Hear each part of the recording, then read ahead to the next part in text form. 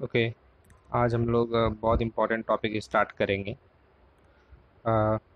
Addition of fractions मतलब fractions मतलब बटे वाले नंबर्स को कैसे ऐड या फिर प्लस हम लोग करेंगे।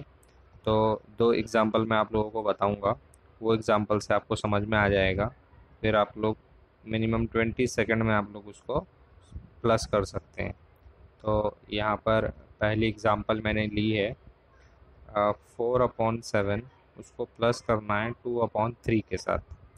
तो प्लस करने से पहले मैं उसका थोड़ा सा आपको बता देता हूँ। फोर अपॉन सेवन तो यहाँ पर फोर मैं यहाँ पर आपको कर्सर से इंडिकेट करता हूँ। यहाँ पर आप लोग देखिए रेड मार्क मैंने यहाँ पर लिया है फोर तो ऊपर वाले नंबर को हम लोग नुमेरेटर कहते हैं और नीचे वाले नंबर को डिनोमिनेटर उसी तरह दूसरा फ्रैक्शन देखिए, उसमें ऊपर टू लिखा है तो ये नुमेरेटर है और नीचे वाले नंबर को डिनोमिनेटर तो इसको प्लस करने के लिए आपको क्रॉस मल्टीप्लाई करना है। क्रॉस मल्टीप्लाई मीन्स ये आप लोग ऐसा उसको मल्टीप्लाई करेंगे।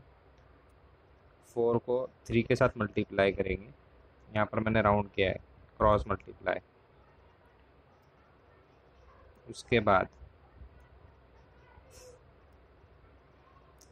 दूसरा फ्रैक्शन है, उसमें टू है। टू को सेवन के साथ मल्टीप्लाई करेंगे। तो यहाँ पर आप लोग देखिए, फोर को सेवन, फोर को सेवन, थ्री के साथ हम लोगों ने मल्टीप्लाई किया है।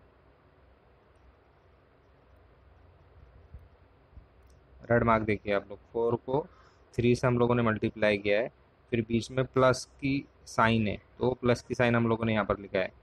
फिर उसके बाद टू को सेवन के साथ मल्टीप्लाई किया है तो टू मल्टीप्लाई सेवन फिर यहाँ पर डिवाइडेड बाय ऐसा टू टाइम्स था। अब ये होल डिवाइडेड बाय डिनोमिनेटर में यहाँ पर नंबर्स थे सेवन एंड थ्री सेवन और थ्री को म्यूचुअली मल्टीप्लाई करना है। तो इस तरीके से आपका स्टेप्स आएगा। फिर नेक्स्ट स्टेप में आप लोग देखिए फोर और थ्री को मल्टीप्लाई किए तो ट्वेल्व आपको मिला। बीच में प्लस का सिंबल है तो हम लोगों ने प्लस का सिंबल लिखा। फिर टू मल्टीप्लाई सेवन, टू को सेवन के साथ मल्टीप्लाई किया तो फोर्टीन आया है, और सेवन को थ्री के साथ मल्टीप्लाई किया तो ट्वेंटी वन। फिर नेक्स्ट स्टेप में हम लोग ट्वेल्व और फोर्टीन को ऐड करेंगे तो आपका final step means twenty six upon twenty three तो इस तरीके से आपका आंसर आएगा। तो इजीली आप लोग ऐसे सॉल्व कर सकते हैं। नेक्स्ट एग्जांपल हम लोग और देखते हैं। सेकंड एग्जांपल सेकंड एग्जांपल मैंने यहाँ पर लिए one upon four plus nine upon two तो यहाँ पर भी आप लोग वैसे सॉल्व कर सकते हैं। क्रॉस मल्टीप्लाई आप लोग करेंगे। यहाँ पर मैंने क्रॉस किया। क्रॉस मीन्स फ़र्स्ट फ्रैक्शंस का नुमेरेटर और सेकंड फ्रैक्शन का डिनोमिनेटर इन दोनों को मल्टीप्लाई करना है। फिर next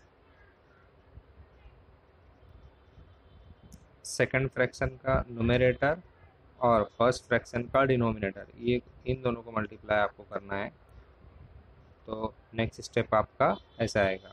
One multiply two one multiply two फिर plus nine multiply four the whole divided by whole divided by denominator में यहाँ पर आपका पहले डिनोमिनेटर था फोर और दूसरे फ्रैक्शन का डिनोमिनेटर था टू दोनों को म्यूचुअली मल्टीप्लाई यहाँ पर किया मैंने। उसके बाद मल्टीप्लाई के बाद जो भी नंबर्स आएँगे, उसको हम लोग नीचे स्टेप में लिखेंगे। टू को हम लोगों ने वन के साथ मल्टीप्लाई किया। टू को वन के साथ हम लोगों ने मल्टीप्लाई किया। टू वन ज़ा टू फिर प्लस के नीचे हम लोग प्लस लिखेंगे। फिर नाइन मल्टीप्लाई फोर तो नाइन फोर ज़ा थर्टी सिक्स फिर उसके बाद डिनोमिनेटर लिखेंगे। डिनोमिनेटर में फोर इंटू टू है, four multiply two four multiply two means four two ज़ा एट तो यहाँ हम लोगों ने एट लिखा है। फिर नेक्स्ट स्टेप में हम लोग नोमिनेटर में आप लोग देखिए टू प्लस थर्टी सिक्स है। टू को थर्टी सिक्स के साथ ऐड करेंगे तो यहाँ पर आपको थर्टी एट आएगा। तो इस तरीके से आपका आंसर आएगा। तो ईजिली आप लोग इसको ऐसे ऐड कर सकते हैं। फिर यहाँ पर मैंने आपको फोर एग्जांपल्स दिए। ये फोर एग्जांपल का आप अच्छे से प्रैक्टिस कर सकते हैं। यहाँ पर फ़र्स्ट एग्जांपल मैंने यहाँ पर लिया है, आप लोग देख सकते हैं। फिर उसके बाद सेकंड एग्जांपल है थर्ड एग्जांपल है और फोर्थ ऐसा चार एग्जांपल मैंने लिए, इसको आप लोग सॉल्व कर कर देख सकते हैं।